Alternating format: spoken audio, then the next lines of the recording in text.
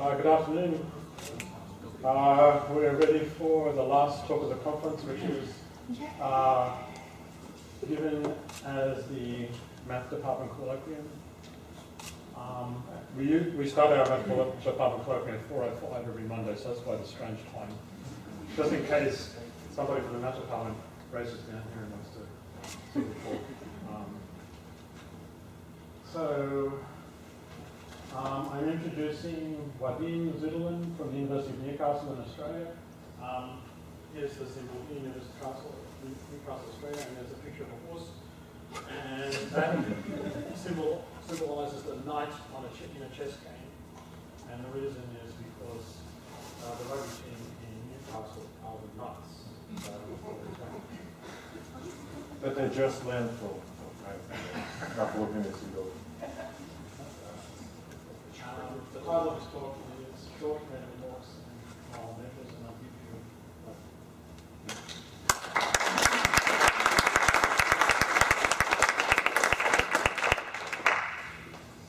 Okay, so thanks again for inviting me to give not only a talk but also a colloquium talk. And uh, yeah, it's, it's actually my pleasure. So it's my second time in the US. And the first time I gave three talks in the conference. So this is only two. So I, I, if it goes same way, I will have only one talk in the conference next time I come. And uh, maybe I, I, I didn't have uh, kind of uh, so my path to Krishna, so I didn't explain it in, in the previous talk, but I certainly have my path. And so mathematically I met Krishna about 95, 96, at the time I finished my PhD studies, and I was looking for something uh, more challenging than I had in my thesis. And I actually uh, switched completely topic I had in the thesis and started to think about rationality and zeta functions and so on. And at that time there was not so much on the market, so not so much, not so many papers And so one, one of the paper, papers that influenced me a lot was uh, joint paper of Krishna, Alladi, and uh, Robinson. And uh, so I only knew at the time about one paper because the other one wasn't in the library of Moscow University. Anyway, so the point was that, okay, so instead of doing some kind of more sophisticated integrals that were used for zeta 3, so he found a way to, to simplify the things and to really to, to find some cool, uh, to natural ones, to rationality results. I'm very influenced, I was very influenced at that time, and I'm still, in, is, uh, I'm still interested in, in that direction, and in particular in developing the ideas from that time. And uh, so I, I gave a previous talk about that, but the first time I met Krishna physically, so not mathematically, uh, was uh, I don't know how, how to count. Was it four years ago or three years ago? Three and plus something years ago, uh, when there was a celebration of, of the 125th birthday of Ramanujan in India. So there were several conferences. And uh, so I, I came to, to, the conferences in Delhi and in Lucknow. And uh, yeah, so Krishna was a fantastic guy. And I still remember, I mean, the house of Ramanujan and uh, so three uh, main Ramanujan Sebastians sitting in front of it.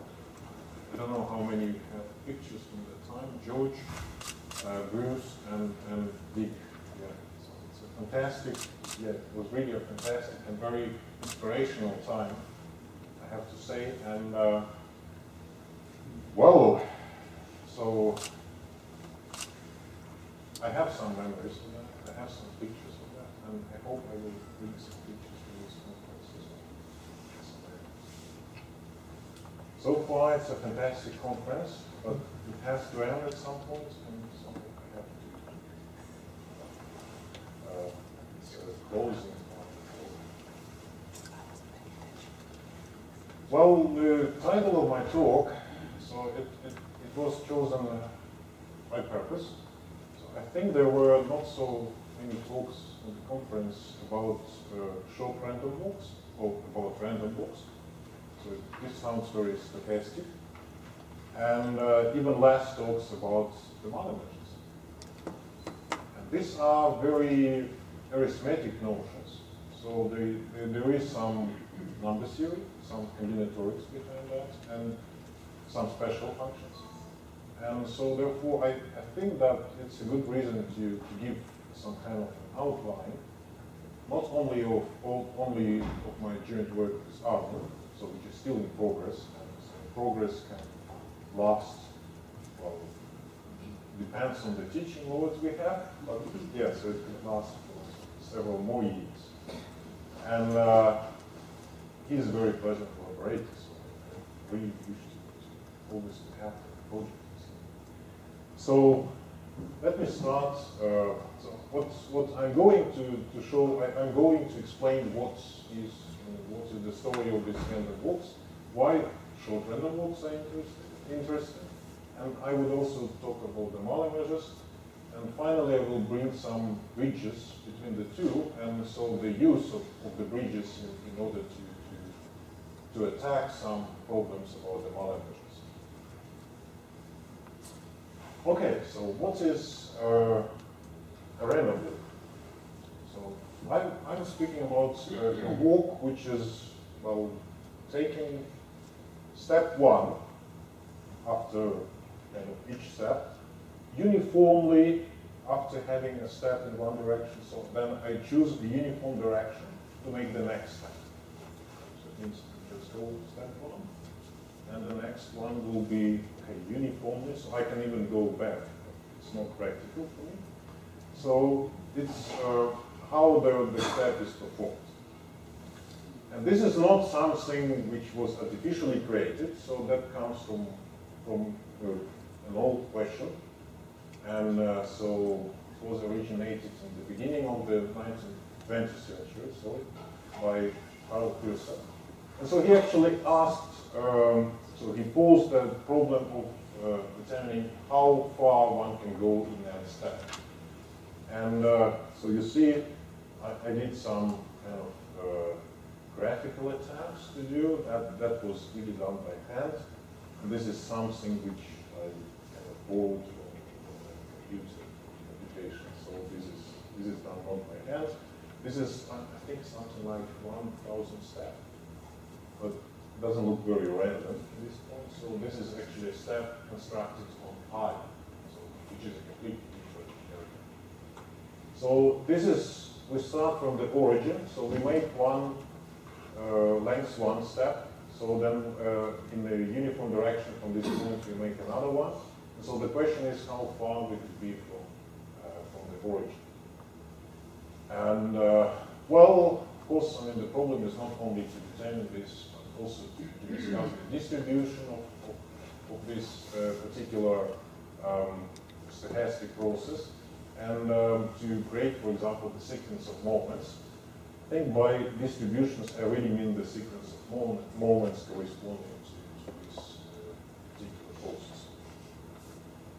Well, so what's interesting in it? Um, let me first give a formal formula, so what, how one can compute so the, the moments or the distribution of this, um, so corresponding to n steps. So each step taking in a uniform direction. So this is just the exponential to, to theta 1, which is between uh, 0 and 1. And so this is the integral of an absolute value of this kind of linear forms in the exponentials raised to the power s. And we can even save one integration because we can kind of divide by theta 1. Um, so, and uh, just make one integration with, with respect to, to the last parameter. And so that would bring us to a slightly shorter form where we integrate only over n minus 1 direction. Well, if I ask you what is the expectation after the first step, so how far I will be from the origin, I hope you can answer. So if I ask you how far I can go in two steps, well, that already requires some analysis because one needs to, well, there will be just a single integration, but that will be, so the integral which is not very easy to compute. And uh, actually, I, I like I at this point, so John always, John Borwein always stresses that if you, uh, if you fit this integral, in the case n equals 2 to a computer algebra system, Maple Mathematica, because they are so clever, they know how to make all these cancellations with the gamma functions. Um, so they normally produce zero as the result. But of course, this cannot be zero because we integrate something which is uh, well, something positive along uh, uh, a unit interval, so this must be something positive as well. So the expectation is just the value of this integral at 1. But you can also see that if this s is an even integer, then actually this is something that uh, evaluates to an integral number. And the integral number has a very um, simple combinatorial explanation. Counts something. And so the sequences for particular values of n and s ranges over the um, even integers, so they can be found on the DPK. Okay, so what about the density of, of the works? So the density is uh, nothing but uh, kind of uh, the inverse Mellin transform of the function Bn of s, or Bn of s minus 1, because in probability one normally puts x to the s instead of x to s minus 1. And so um, in order to, so this is a function of a single variable, so in, instead of uh, recording, so this Bn of s, we can just record the density, and so density allows us to compute whatever we like about the distribution of the corresponding forces. And so here is the answer of what happens after just two steps. So this is uh, not quite 1 over pi, but 4 over pi. So that's the distance that will be traveled in average after two steps. And the corresponding density, so this is uh, really a simple exercise calculus is 2 over pi root 4 minus x squared. So it's supported on the interval 0, 2, because in two steps we cannot go uh, further than a distance 2 from the origin. Actually, this is exactly the density that also occurs in the Sato-Tate distribution. So if I renormalize it and put on the interval at minus 1 to 1. So that's another kind of appearance of the same density. All right, so.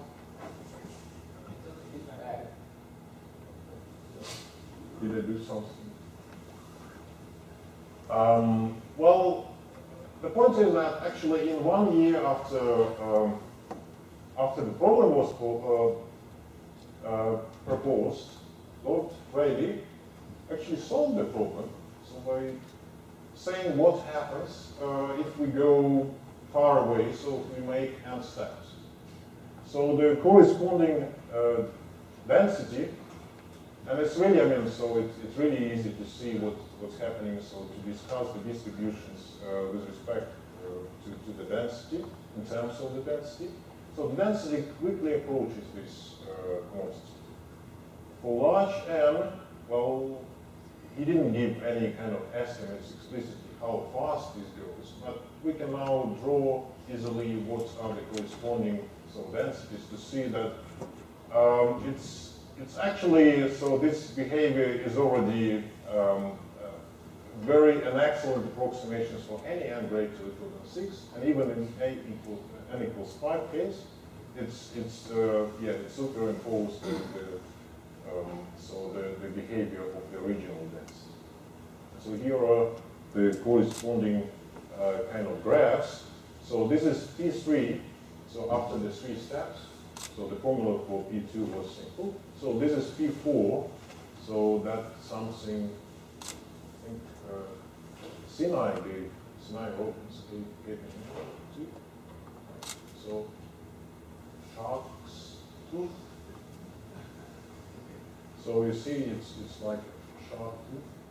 And uh, so here is P5, and so the dashed uh, graph, it, it corresponds to, to, to the behavior of this asymptotic density. So it's very close. And then starting from P6, um, yeah, it's, it's really hard to see any kind of differences. Limited behavior and uh, the corresponding density. So the real differences happen somehow up to five, and so then so the, the behavior uh, so the, the limiting density is actually superimposed uh, by, uh, by the corresponding density. So you see the formula for P3 also exists, and it was given in uh, original Pearson's work. So it can be written as the real part of something with, which involves the elliptic function. And so that's something that appeared in, in several talks, the last. And so here is a kind of argument. Remember that P3 means that the distribution is between 0 and 3, so the support of the density is on this interval, and so therefore this quantity is so well defined. And at the same time, the same, uh, the relation of this elliptic function to the hypergeometric world. And uh, so it gives a different representation. And uh, by purpose, I, I indicate the presentation that use not the same, not the standard uh, hypergeometric function for the k, which is half-half uh, for the top parameters, but one-third and two-thirds. So because in that case, I can write everything as a rational function of x. And so this gives probably the, the easiest form for P3 by means of a special function, which is And so the relation to the elliptic functions, it, it indicates strongly that there are some modular forms behind this, uh, this function. And so the hypergeometric function, also with this particular choice of the parameters, is another indication that there is something arithmetic going on in this particular case. But I think, uh, so uh, Karl Pearson didn't, didn't take care of that particular issues because he was interested in in the analytic model of, of this M-step work. Okay, so what is this hypergeometric function? I think uh, the majority of, of the speakers actually didn't show the so It's a very uh, natural and at the same time for, for those of you who didn't see uh, a lot uh, the appearances of the series in real life, so it might be complicated. So it's actually a hypergeometric because it's a generalization of a geometric series. And so I deliberately choose the parameters to be kind of balanced so that there is the same amount of, of these uh, shifted factorials, so because k factorial is also shifted factorial, the same amount in the numerator and denominator, so that the convergence domain of this series is uh, the unit disk. So inside the unit disk, this object converges. And what are the shifted factorials? So these are factorials that start not from 1, but from A, and then we keep shifting by 1, so the product. So the product of k consecutive numbers starting from A, so it's exactly this uh, uh, gamma symbol, so the shifted factorial. So it can be written as the quotient of gamma and, uh, well, I mean, so we understand the behavior of this function very well. So it's a classical function. It's implemented in all computer algebra systems. And whenever we can reduce the answers to, to the problems to this particular form, so then we can do everything. So to compute everything, so to, to find some magical relations between different looking expressions and so on, because there is a whole machinery of dealing with these functions. And uh, of course, this function is not just the first, the first appearance during this conference of hypergeometric functions. So there were several talks that discussed uh, in one or another way, so the appearances of the hypergeometric functions in, in several problems. So uh, the main feature is that the series uh, satisfies a, a, linear differential equation. And this linear differential equation allows us to analytically continue the series in the whole C plane. And so we can make uh, the cards in the plane. For example, we can make the cards from 1 to infinity. And so therefore, uh, we can define this function globally. And what happened in 2012? Uh, well, that was the first time I, I, I was really attracted to, to the problem. So, and we worked uh, well, jointly with uh, John Borwein, Armin Straub, and so James Wan. So to find out uh, an expression, a hypergeometric formula for the force tensor. And this is definitely new, so nobody could indicate that before, and I think that nobody actually expected that there will be such a simple hypergeometric form in that. So remember that P4 of x is, uh, well, it has uh, supports on the interval from 0 to 4, and uh, so if, if I do from 2 to 4, so the argument of this hypergeometric function is inside the unit disk. So I can use the series representation. But if I uh, go from 0 to 2, uh, this actually is greater than 1. And so therefore I have to use the analytical continuation of the corresponding function. And this brings to some imaginary stuff. And so um, if, if I take, I mean, so the card is from 1 to infinity, where the argument takes values, but the real part is actually the same on the upper cards and, and the so the lower one. So therefore this uh, quantity is defined as an analytical function of the real variable um, correctly. And so that's the formula which we proved, which we established in that paper. And we also gave a relation of, of this uh, P4 and so the hypergeometric function to the modular forms. And I think that this was kind of the principal benefit of, of the story because relating something to the world of the modular forms means really uh, showing that something is arithmetic. So there, there, there is something beautiful in, in, corresponding function. Well, this is also true for, for the density P3 as I mentioned. And uh, in order to, to say a few words, okay, so what, how these are related to the modular forms, I, again, I'm not original, so this particular function's eta of tau, this is probably the easiest way to construct the modular forms. Not modular forms can be constructed by means of it, but, uh, well, that would be more than enough for my talk, for the purpose of my talk. So the function, well, it has a lot of combinatorial meanings because of, of this uh, series expansion, but it also satisfies a very simple functional equation, so which is the modular involution, that links the value of the function for tau from the upper half plane uh, to the value of the same function at, under the modular transformations, under the uh, involution tau goes to minus 1 over tau. So we have the, facts in front. And so the Q expansions here are given by means of the exponential of 2 pi i tau. So examples, which I will have in my talk. So I enumerate them F2, F3, and F4. Well, one of the reasons is that this corresponds to the weights of this modular forms. I don't need to explain actually what the weight is. So if uh, well, if you're not familiar with modular forms, just take this for granted. But this is weight 2, weight 3, and weight 4. So the eta function itself is weight half. And so these are the products that corresponds to weight 2.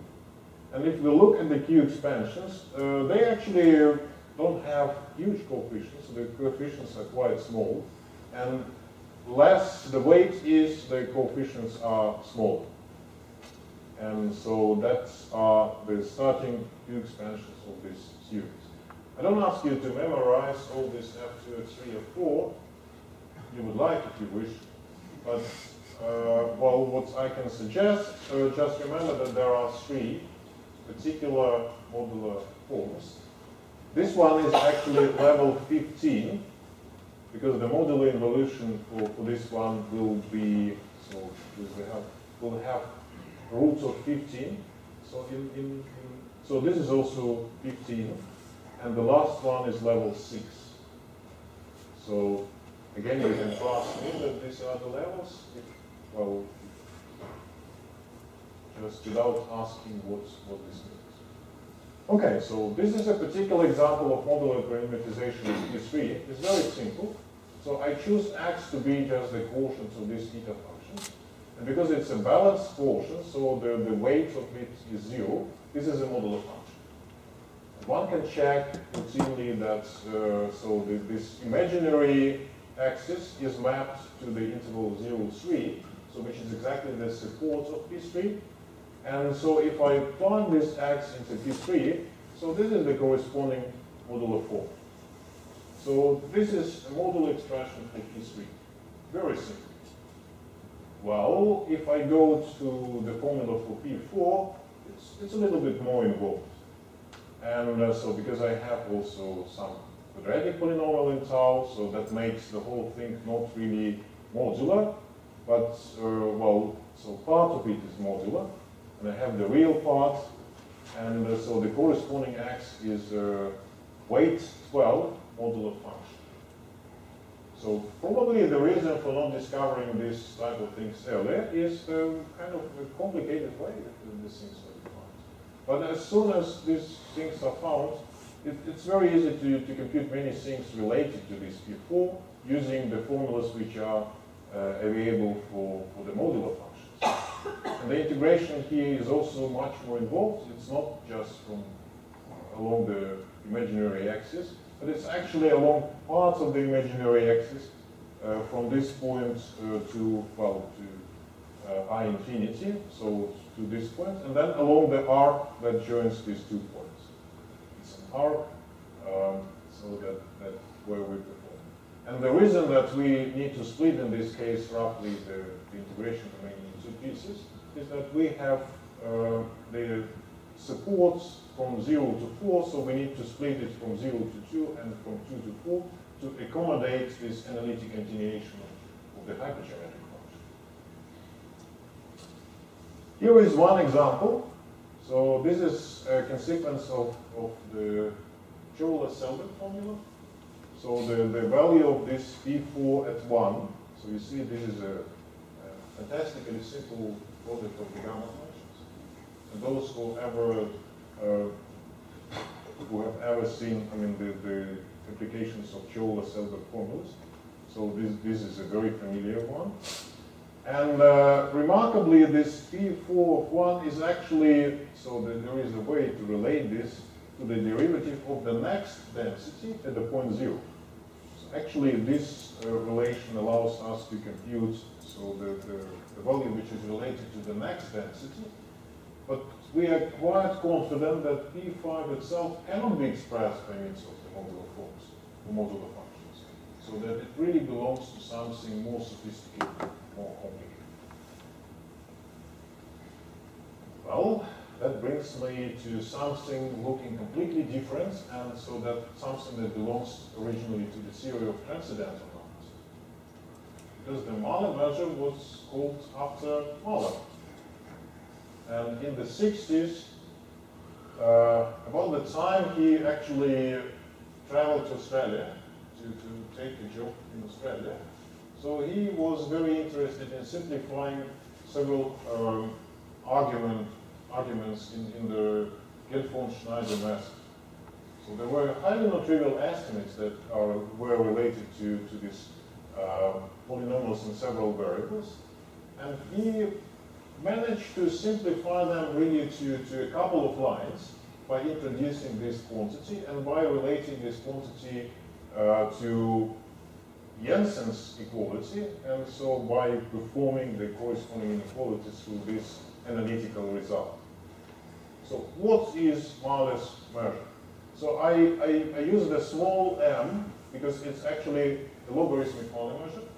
So, and this is nothing but the derivative, sorry, so the, the absolute value, so I take the logarithm and I integrate over the n-dimensional torus. So this is this runs over the torus. So in other words, this can be seen as a logarithm of a geometric average of, of the absolute value of the polynomial in several variables. And uh, so Mahler himself, he, he used the capital letter M, and uh, so he actually considered the exponential of this quantity, which is normally called Mahler measure or exponential Mahler measure. So in, in my talk, I will only address this logarithmic Mahler measure because it's related in a kind of in, in a straightforward way to, to Jensen's equation. One can, because the, the integration is over torus, so one can actually deal with the Laurent polynomials, not necessarily so with the usual ones. And uh, well, this how this quantity was introduced, and uh, I think till till the 80s, it was only used in the context of, of transcendental number theory.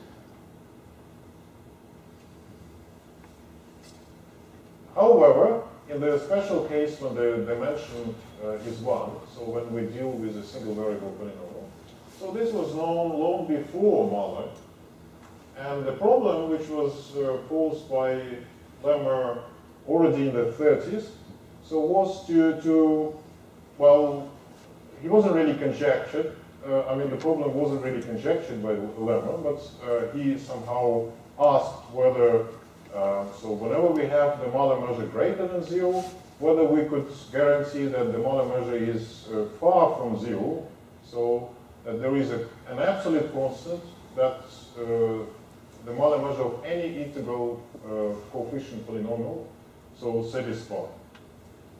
And even gave a very natural candidate for the measure, so he found a 10th degree polynomial, so it is a reciprocal polynomial of degree 10 actually I need to, to only indicate the terms.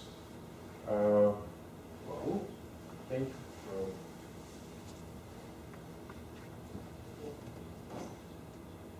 is it right?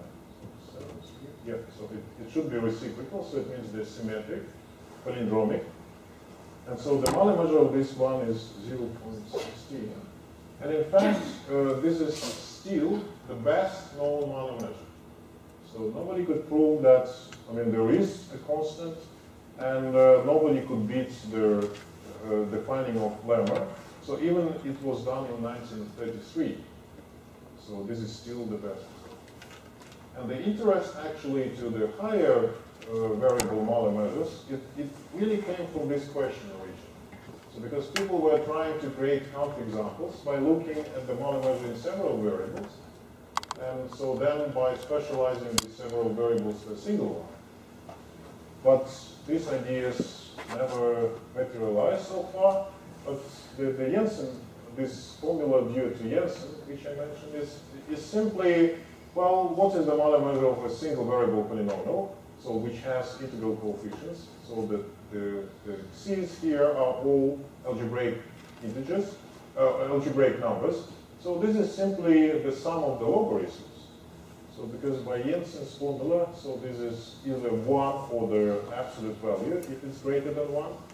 And so this is, any Mahler measure is actually a linear combination of the logs. Well, what happens if we have more than one variable? So will we still have this structure? It was observed that actually the structure is much more sophisticated in the case where we have even just two variables. And uh, so it was a fundamental work in the mid-90s by Christopher Deninger, who related um, the Mahler measure of a particular polynomial in two variables, this one, to an to the L series attached to the modular form. So I, I asked you to remember that there was something labeled F2. So this is exactly in this level 50 uh, weight 2 modular form. So to, to the L value, so this is kind of the way one, one could think of this L value, or by the functional equation it can be reduced to the to a simpler form where we write the derivative of the L series at zero um, corresponding to this function. So in order to produce, so it, it wasn't really proven by Zenian. But he showed that assuming that some big conjectures of Beilinson are uh, satisfied, and uh, it was shown not as the equality, but as an equality up to a rational factor in front of it. So the K-theory, it kind of it predicts that certain things are equal to the L values, but only up to rational factor. And they give you no information about what the rational factor is. And so shortly after this story, David Boyd and Fernando Rodriguez Villegas, so they actually created a lot of more conjectures, but with specific rational numbers by computing the corresponding monoids. And so by examining, so what are the rational constants in front. So for example, in, in this particular case, David Boyd computed that up to 80 places, and he found that this is 0 then 89. So he conjectured that this must be 1. So this was a conjecture. And uh, well, this is F2 again, so I had some space to put, to put it here. And the L series, well, is the corresponding function for, this F2. So I, I, I will define what the L function is now, so because it's very easy to do.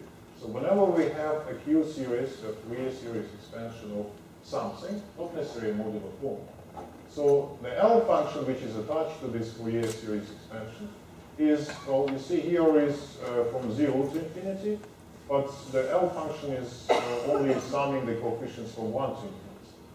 So if, if there is a zero coefficient, so then it is lost in, in the L function. But in all my examples, the, the summation starts from at least 1. So it means that in the, in the previous slide, so this LF2 is nothing but the corresponding uh, L series for, for this particular modular form. Okay, so the conjectural evaluation for the Mahler measure was finally established in, in, uh, in my joint work with Matt Rogers.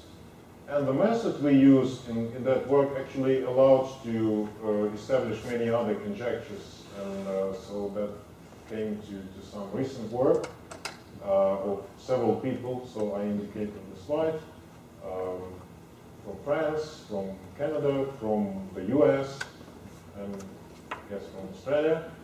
And uh, yes, so that, that's uh, still a very active area because we could only do these conjectures case by case. In, in, in several uh, even the machinery is, is, is known, so it, it's really hard to, to, to, to push it to, to prove all the formulas. But this is for the two variable case. So the three variable case is much more delicate, and this is exactly what brings me to, to the relation between the Mahler measures and so the, uh, the random walks I, I had before. So how we can uh, kind of recast the, the corresponding Mahler measure. So we can introduce, and uh, I'm not kind of the author of this notion, but one can also think about the integral where we don't have the logarithm, but the s power of, of this Laurent polynomial of, of uh, p, so integrated uh, along the uh, n-dimensional torus. And in that case, to get the logarithm, the logarithmic measure, we simply need to differentiate with respect to s and let s equal 0. And this particular integral looks very similar to the random walk. And indeed, so in the case of, of the distribution of the random walk, so this is nothing but this zeta Mahler measure, so of, of a linear polynomial in n minus 1 variables, or in n variables before the reduction. So the Mahler measure is nothing but uh, so the derivative of, of this zeta function. So this means the density function times the log. And so because we know these density functions, so we can try to, to compute the corresponding integrals and to relate them to the uh, expected um, measures. So in particular, um, So these Mahler measures are known as linear Mahler measures because they correspond to the linear polynomials in, in n minus 1 variables. And so in the case of uh, n equals 2, so I, I, have just 1 plus x in this case. It's, it's very easy to see from Jensen's formula that the corresponding measure is 0. But it is not 0 for higher values. So here are the formulas that were proven by Christoph Smyth in 1980. So for the measures uh, of, um, well, corresponding to three-step walk and to the four-step walk. So these are L series. Now to corresponding to the um, simply to the characters. This is the Dirichlet character mod 3. So it's, the pattern is 1 minus 1, 0 mod 3. And this is the character, well, this is just the zeta function, or the derivative of the zeta function at, at the minus 1. As for the fifth and sixth uh, quantities, there are only the conjectures known. These are kind of uh, the, one of the principal challenges in the field of the Mahler measure, because there are no clues in how one can actually um, get to, to these conjectures. And here is exactly where this F3 and F4 occurs. This is level 15 and level 6 modular forms. And so the Mahler measures are expected to be related to, to the values of these points. These are not critical points. They are outside the uh, critical strip for, for the functions. This is weight 4, weight 3. So these are really mysterious connections. Uh, well, except that they have some explanation by means of Leibniz And uh, there are no formulas known when n is greater or equal than 7. So there is really something special going on for small values of n. And another big conjecture is about three, uh, three variable uh, function, uh, which is related, so it's not anymore the linear one, so but this is related to LF2 3. Right, so the relation, it, it really looks kind of accidental, but at the same time we can use I mean, the, the facts we know about the random walks to produce some uh, formulas for, for the Mahler measures, uh, in particular some hypergeometric formulas. And here is, well, if you like, it's, it, it's probably the only proof, kind of proof I have in my talk, but this is simply a geometric consideration.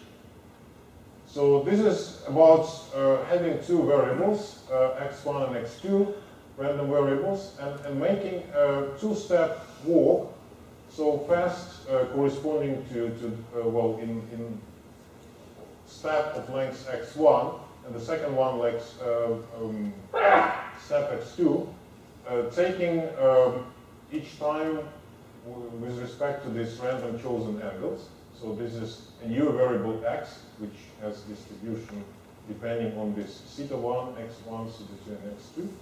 So this is a two-step random walk. First step of length x1 and the second uh, step of length 2.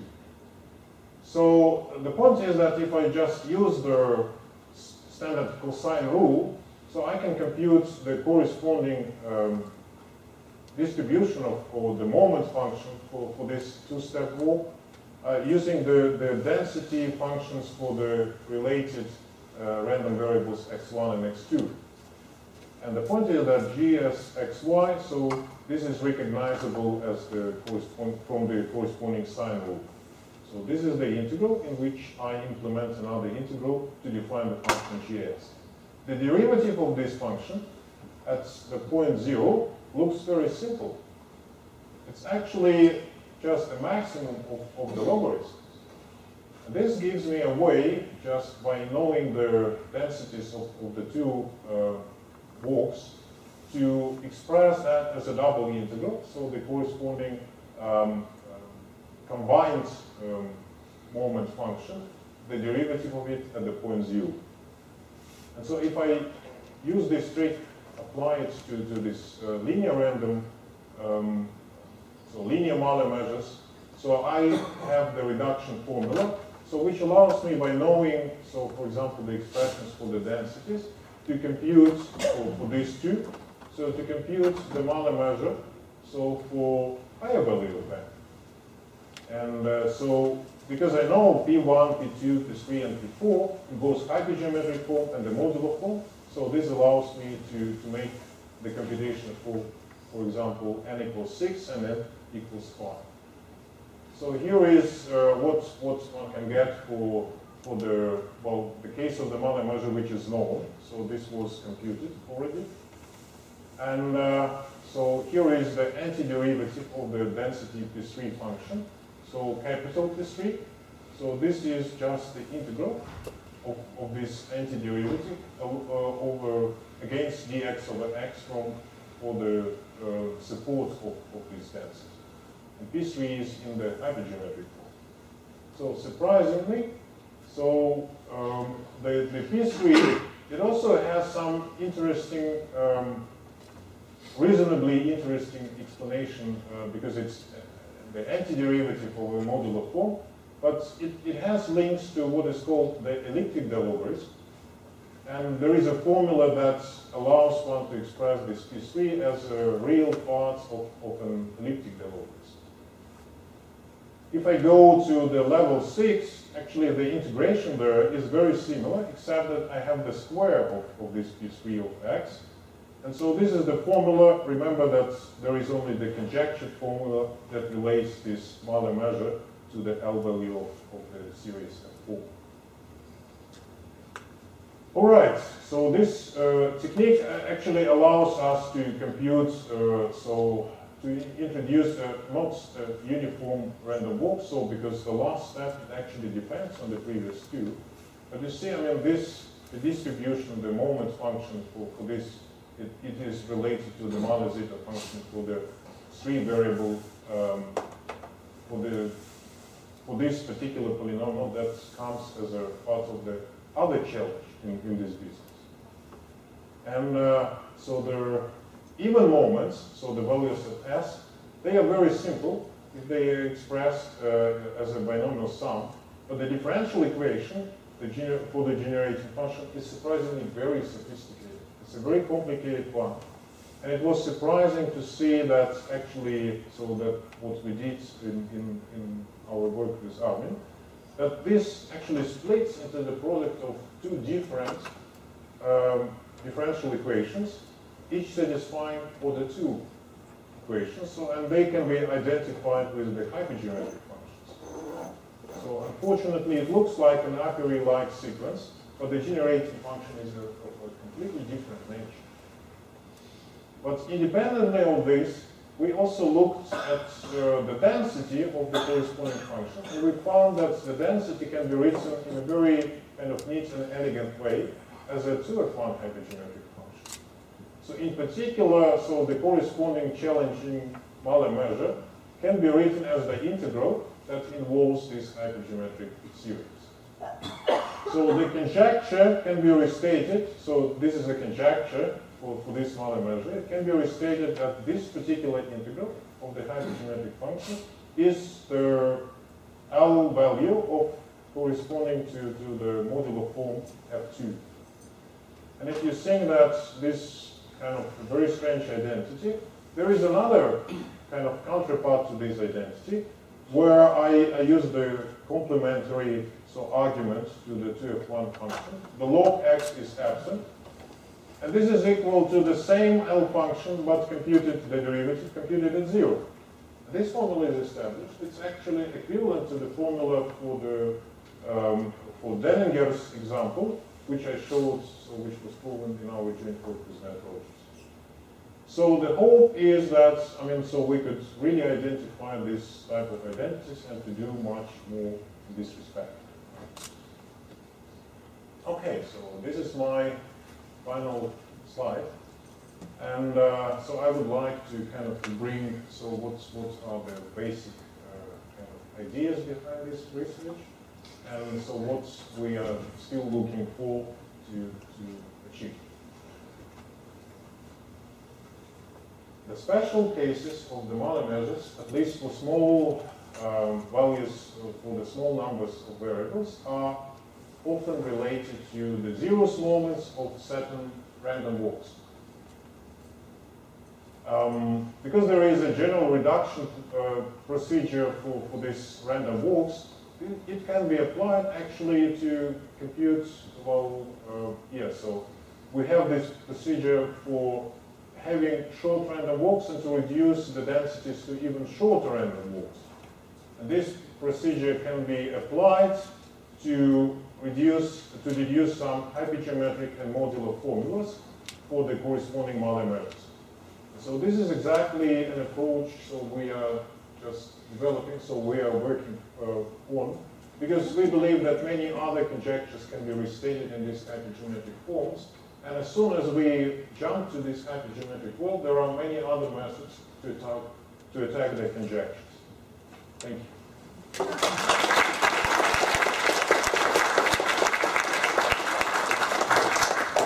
Are there any questions for us? Are there any discrete analogs, like walks following lattice points? You mean for the short walks? Um, I guess there are, but I don't expect them to be as arithmetically nice as the non-discrete ones, because here we have access to, to the modular forms, and in that case we could only hope to, to, to relate them to hypergeometric functions. Yep. So do you believe inverse polynomial gives the small Mahler measure? Well, I think there, there are good reasons to think this is true, but at least there, I, I, if we speak about beliefs, I believe that the question Lehmer asked and suggested an answer that indeed there is a constant. Yeah, there is an overwhelming um, support for, for that positive answer, for the affirmative answer. And so it's, it's really that the methods cannot really allow us to, to, to access to, to the problem. Yeah, but I think there is a constant, and uh, most plausibly, yeah, this one. So because all the counterexamples, they normally come from small, from small pair.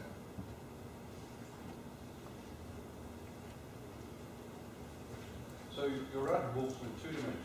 Has anybody looked at random walks in three dimensions?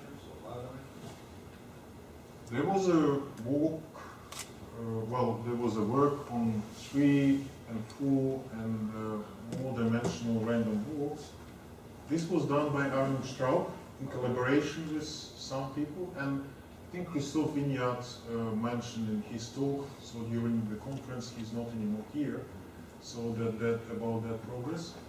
Um, there is still some structure. I think three steps, they look beautiful, but when it goes to, and also the odd dimensions, I, think they are trivial. So only the even dimensions are interesting ones. And uh, yeah, so the, the, the three-step walk is interesting, I would say, in any even dimension. And uh, for the fourth step, I don't think there, there, there are some reasonable formulas. But okay, Armin can argue. Okay, not There might be. Any other questions? Because, thank you, for speaking again.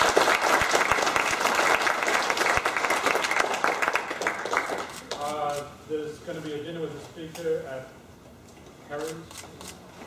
Paris? Yes. Harry's. Harry's. Not Larry's. Paris? Uh, Harry's at six thirty, uh, let's see the- It's too